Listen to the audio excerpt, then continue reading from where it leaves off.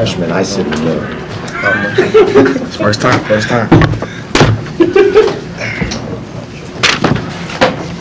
Your boy didn't hook you up, did he? He just let you, he just let you go there, didn't he? Get yelled at.